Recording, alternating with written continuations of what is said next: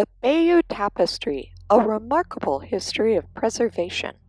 For its sheer size alone, 70 meters or 230 feet in seven sections, the Bayeux Tapestry is an awesome accomplishment. For instance, the seams between the panels are almost unperceivable. Being made completely of wool thread on linen backing, it is technically a work of embroidery, and the word tapestry acts as a misnomer. The story of its preservation throughout time is just as, if not more, incredible than the object itself. The tapestry was made shortly after the Norman invasion of England in 1066 in commemoration of the event as a gift to William Duke of Normandy, later to be christened the Conqueror, from his brother the Bishop Odo of Bayeux. It served as a monumental piece of early propaganda which portrays the Battle of Hastings and conquest of the throne from Edward the Confessor to William via King Harold as seen from a purely Norman perspective. This viewpoint of the secular nature of the Bayeux Tapestry as artwork, historical document, and political propaganda is relatively recent, circa 1973.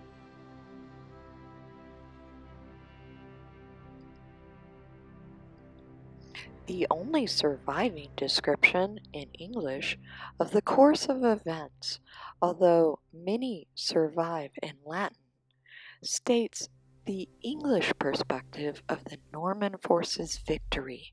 Quote, the Frenchmen held possession of the field, as God granted to them for the people's sins. It is believed that the tapestry was made in southern England in the year 1082. From that point on, it is presumed that it was brought out and hung upon the walls in the nave of the Cathedral of Notre Dame of Bayeux only once a year, according to an inventory of the cathedral made in 1476. Quote, on the day of relics and throughout the octave. This is how the Bayeux tapestry survived nearly 500 years and the multiple fires during those years. With the French Revolution, the tapestry was almost used for a wagon cover and a carnival float depicting the goddess of reason. In 1803, Napoleon attempted to use it to rally support for an invasion of England, which never occurred. During 1812, it was mounted and wound between two mechanical cylinders, which did severe damage. It was not until 1842 that the Bayeux tapestry was finally mounted behind glass in a separate room of a public library. It remained there until 1913, when it was finally returned to the old bishop's palace. It spent World War II, housed in the cellar of the Louvre, narrowly escaping possession by the Nazis.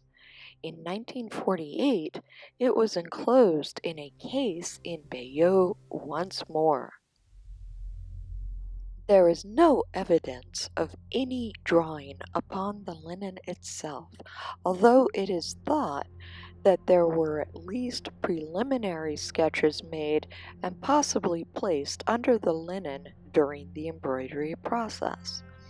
The original colors used are primarily darker tones, focusing on blacks, blues, and greens. During the medieval period, oranges and reds were used for repairs and nearer to the 19th century, softer tones dominate the repairs, such as yellow and more pastel hues. When viewed from both front and back, it becomes clear to restorers that the hues of the wool threads had hardly faded over the course of almost 1,000 years. The colors are almost aligned with modernist practices in that they are non naturalistic and seem to be picked at random. It is believed that the narrative in Latin that appears on the tapestry is the product of both oral and written sources. The actual embroidery work is the product of multiple different artisans. In places, the borders portray subplots, fables, or forebodings of events upcoming.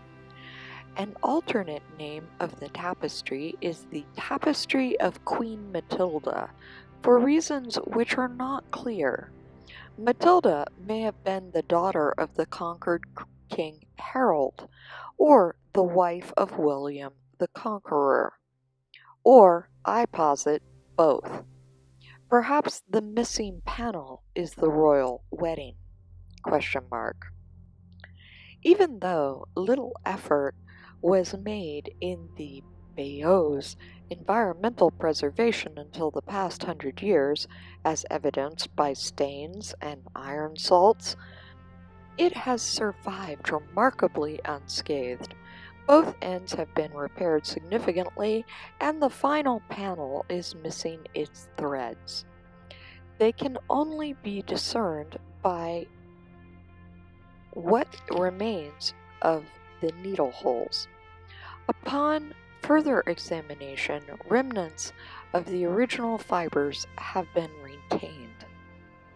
It was not until the tapestry's cleaning, study, and remounting during 1982 to 1983 that any large scale preservation environment was created in an effort of preservation until the present age when at last it could be displayed in a sealed viewing case with lighting which spans two parallel walls in a U shaped room. This is a marked improvement considering it was once hung in a small darkened room of the monastic deanery off to one side for special viewing only upon request.